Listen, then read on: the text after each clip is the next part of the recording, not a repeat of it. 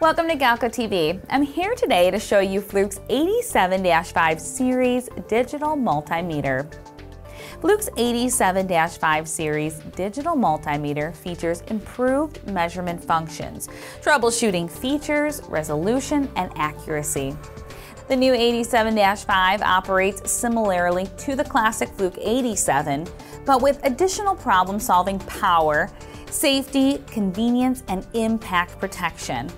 It features a measuring capability of 1000 volts AC-DC and is able to withhold up to 10 amps of current. This multimeter is unique in that it is able to accurately measure adjustable speed drives and it was designed specifically to handle their complex signals. A specific function on the multimeter allows for more accurate measurements of noisy pulse modulated AC voltage, measuring correctly at the ASD and at the motor terminals. Frequency measurement is not affected by the ADS's carrier frequency.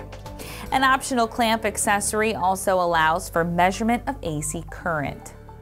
Fluke's 87-5 also features a built-in thermometer so that you can take temperature readings without having to carry a separate instrument for that purpose.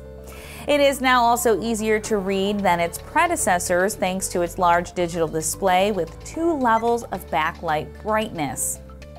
All inputs on this multimeter are protected to Category 3 1000 volts and Category 4 600 volts.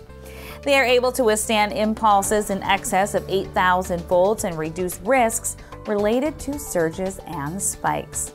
For more on Fluke's 87-5 series digital multimeter, as well as our repair and engineered system services, head over to galco.com.